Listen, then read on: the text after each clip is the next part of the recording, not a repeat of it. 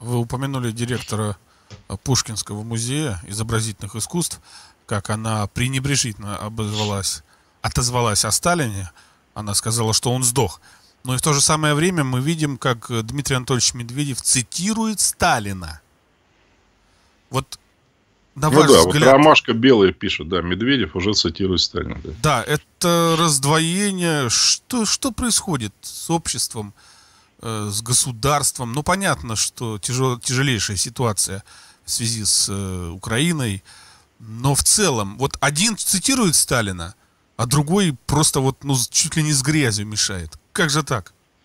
Мне вот просто интересно, понимаете, вот э, Навального там, э, так сказать, привлекали к ответственности за то, что он ветерана оскорбил, да, там Бастрыкин все время там, значит, вот этого Оксимирона, или как его, я сейчас не помню, как тоже что-то там по парадам было, да, такое. Это правильная реакция, да?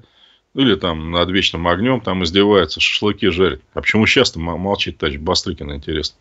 Вот федеральный чиновник высокого уровня, назначенный министром культуры Любимовой, э, гражданка Лихачева, директор музея имени Пушкина. Она сказала, что Сталин сдох, это я цитирую, да, и что он вообще как Микки Маус. Получается, что э, дед Анжелики Егорной Глазковой, красноармеец СИЗО, 30 января 1944 года погиб от немецкой пули под Ленинградом Э, воюя в армии под командованием Микки Мауса. Так я понимаю, да? Потому что она еще, ведь Сталин ветеран. Абсолютно такой же, как и все. Даже не такой же, он вообще верховный главнокомандующий. Значит, ветерана оскорбляют. Это прямая статья, на мой взгляд. Ну, по крайней мере, судят у нас ведь за это. А почему ее-то, так сказать, вообще никто не трогает? Или, знаете, как в фильме «Берегись автомобиля», что ли? А это нога кого надо. То есть, этих не надо, да, трогать за оскорбление ветерана. Я, у меня-то дед вернулся, в отличие от, Анжелики, от деда Анжелики Егоровны. Он участвовал в параде Победы. И у него медаль, вот, с которой я играл. Я деда плохо помню. Он в 69 году умер. Мне три года было слишком. Ну, четыре. Вот у него главная медаль, которой он гордился. У него ордена были тоже, конечно. Это медаль за победу над Германией. Кстати, у нее вот орденская ленточка в виде ну, как сейчас ее называют, георгиевская ленточка, хотя это гвардейская ленточка вообще, да. Между прочим, за ее осквернение вроде тоже что-то полагается. Ну, а сама медаль – это профиль Сталина, которую вот эта вот э, гражданка назвала Микки Маусом, да, и написано «Наше дело право, мы победили». Это единственная медаль, которой наградили всех, абсолютно всех участников Великой Отечественной войны против фашистской Германии. Значит, у нас там профиль кого изображен? С ее точки зрения. Микки Мауса, что ли? И все молчат. Следственный комитет в рот воды набрал, понимаете? Гонять там каких-то козлопасов, которые на вечном огне шашлык жарят. Ну, их правильно гоняют. Это да. А тут целый директор. Молчит министр культуры любимого, который ее назначила. Видимо, она, ей нравятся, наверное, такие высказывания, скорее всего. А самое главное, вот а какая разница между высказыванием Лихачевой, директора вот этого, и украинцы, украинской нынешней власти вот в отношении Сталина? Да никакой разницы нет. Вообще. Понимаете, как же стыдно. Мы тут, значит, боремся за переименование в Сталинград, и тут сидит вот эта вот э, гражданка, я просто это самое мягкое, что я могу сказать, обзывает верховного главнокомандующего, под руководством которого наш народ спас не только свою страну, спас Европу и весь мир от коричневой чумы. Потому что при новом порядке вот эта вот гражданка, она, ну, если бы она вообще, конечно, на свет бы появилась, она бы, конечно, не директором музея была. Потому что никаких музеев на территории Остланда, как нас называли немцы, не было бы, естественно. Речь шла о том, что русские должны уметь считать до 100, подписываться и преподавание истории было запрещено на оккупированной территории. Ну, а планировалось потом везде запретить. Так это что, им все удалось, что ли, вот судя по э, вот этим вот высказываниям? И знаете, что обидно? Кто был первым директором вот, послевоенном Пушкинского музея? И долгое время был. Даже застал вот эти вот времена, так называемые. Ирина Антонова, офицер Красной Армии, воевавшая под командованием Иосифа Виссарионовича Сталина, которая в 45-м в гимнастерке пришла в Берлин, в Майорской – и разыскивала вывезенные нацистами произведения искусств, которые сейчас вот хранятся в этом Пушкинском музее. Например, Она же спасала так называемые, как немцы называют, трофей, трофейные ценности, то, что наши вывезли после войны, от передачи немцам. А Ельцин хотел это сделать. Хотел. Но вот такие, как Антонова, не дали ему это сделать. И это все сейчас у нас. И вот понимаете, Антонова, да, который вообще весь мир знал. И вот это. Еще раз, правоохранительные органы помалкивают. Ну, а ничего там, с кем не бывает. Помните, как место встречи изменить нельзя? Там Копченый говорил. Вы пошутили, я посмеялся. Чего не скажешь в шутейном разговоре? Так, что ли? Оскорбление ветеранов прямое, совершенное через сеть интернет. Так гласит у нас статья 354, дробь 1 УК. По-моему, здесь все налицо. Ну, пусть мне кто-нибудь сейчас в чате напишет, что Сталин не ветеран Великой Отечественной войны. Может, такие тоже, конечно, найдутся. Но мы это дело, конечно, оставлять не будем. Глазкова будет делать Бастрыкину запрос, если сам Бастрыкин этим делом не займется. Хочу поздравить нас. Здравствуйте, Николай, Николай Николаевич, Анжелика Егоровна. Я хочу нас поздравить всех с новым, с новым назначением. Это выдающееся назначение. Это сделал лично министр. Для меня, любимого Оля, она дочка Маша Шурубович. Борис Николаевич Любимов мой учитель, дорогой. И вот Оля, которую я не узнаю, назначает э, некую женщину. Ай, и эта женщина в кабинете Ринсанны Антоновой, и ее первое интервью, ладно, она перепутала, перепутала Бурятию и Башкирию, север и юг, сказала, когда едешь на север в Монголию, но она еще и сказала, что Сталин для нее Микки Маус. Это мы дожили. Это нам по делам нашим, вот такие кадровые решения. Это катастрофа, или уже звездец, я извиняюсь за это выражение, в присутствии женщины и депутата Государственной Думы. Как вы оцениваете кадровые назначения? Прошу вас, Анжелика Егоровна, потом спрошу Николая Николаевича. Для нее Сталин это как Микки Маус, ну что-то такое. Что это? Ну вот мне очень интересно, вот эта вот госпожа, или как ее еще можно, после ее выражения, я не знаю, как ее можно назвать, но вот мне очень интересно, мой дед под э, Ленинградом в 43 году погиб э, под руководством Микки Мауса, она так считает, и миллионы людей под чьим руководством одержали победу в кровопролитных боях, много лет прошло, но тем не менее победа была такой тяжелой ценой. Она что, этого не понимает? Она его сравнивает. Ну, я считаю, что это просто... Э, вы знаете, она ведь не одна такая в правительстве. Э, их там уже целая плеяда собралась таких.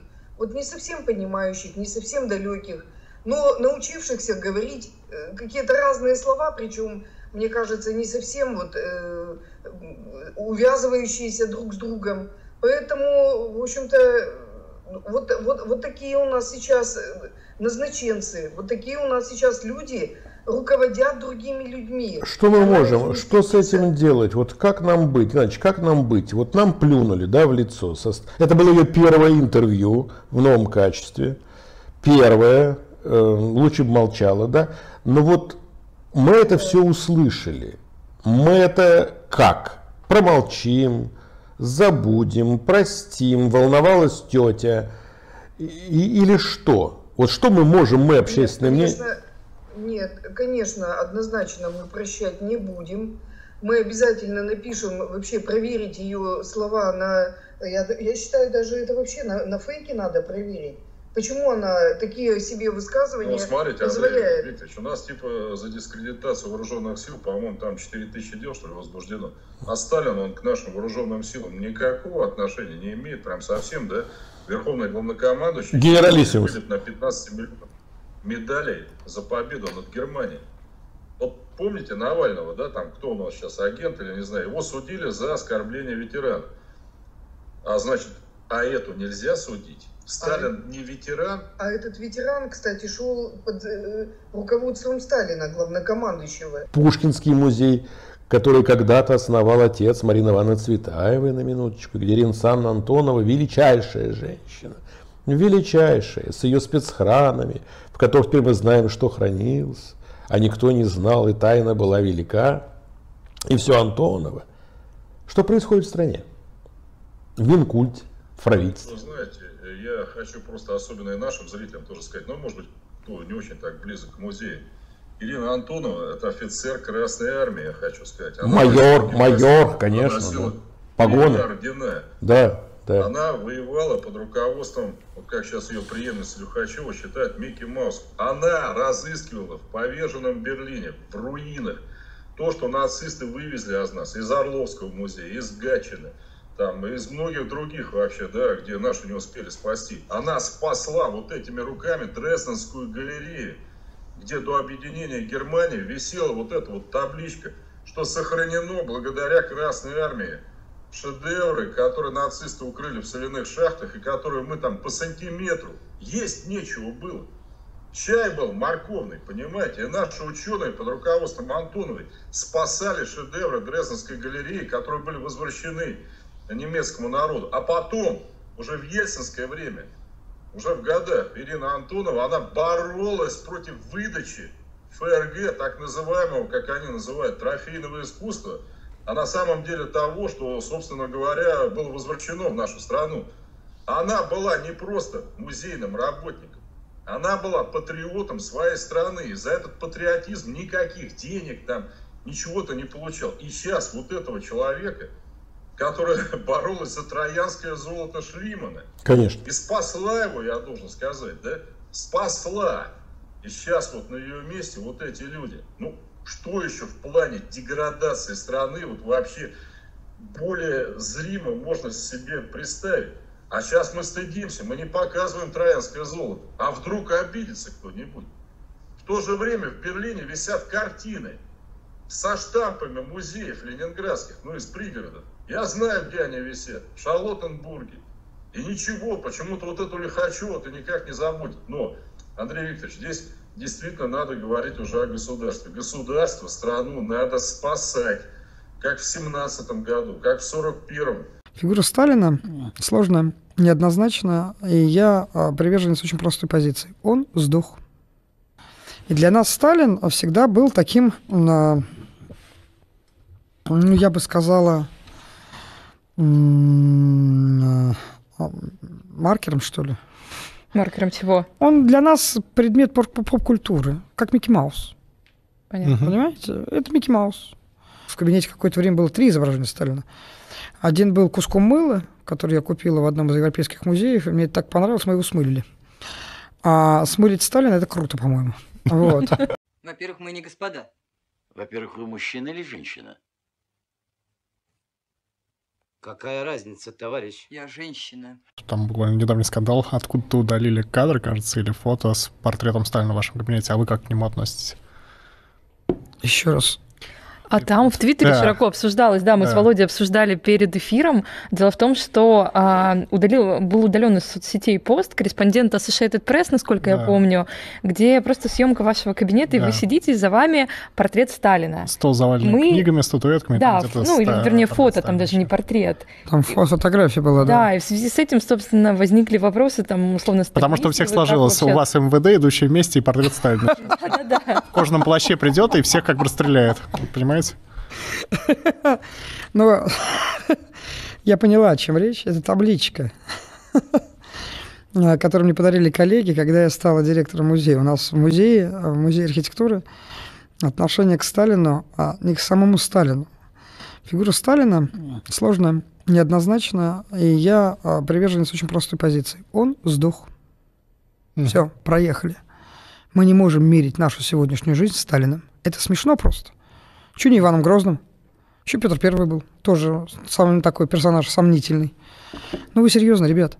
Ну, как бы вот 5 марта этого года а, а, а, очередная годовщина смерти Сталина. Лента всех моих э, социальных сетей, в том числе и запрещенных, забита. Люди сидят на полном серьезе, обсуждают смерть Сталина. Граждане, вы, вы там совсем что ли кукух поехали? Вообще больше обсудить нечего? То есть там Украина, а, не знаю, там кризис, экономический кризис, а, санкции. Это никому не интересно. Теперь все обсуждают смерть Сталина. Остро политический момент. Смешно. И для нас Сталин всегда был таким, ну, я бы сказала, маркером, что ли. Маркером чего? Он для нас предмет поп-культуры, как Микки Маус. Понятно. Понимаете? Это Микки Маус. Изображений Сталина много. А, и он в конечном итоге есть предмет поп-культуры. То есть каждый раз, когда а, людей надо отвлечь от чего-то серьезного, важного, достается Сталин. И э, это очень четко было видно, когда заходили люди в кабинет, это правда. Люди заходят в кабинет, а, видят эту несчастную табличку, которая, кстати, была, там была инсталляция, потому что там эта да, табличка Да, там какой-то зайчик еще был. У нас был Сталин с ушками, значит. И по реакции было все понятно. Как бы будем мы работать или нет.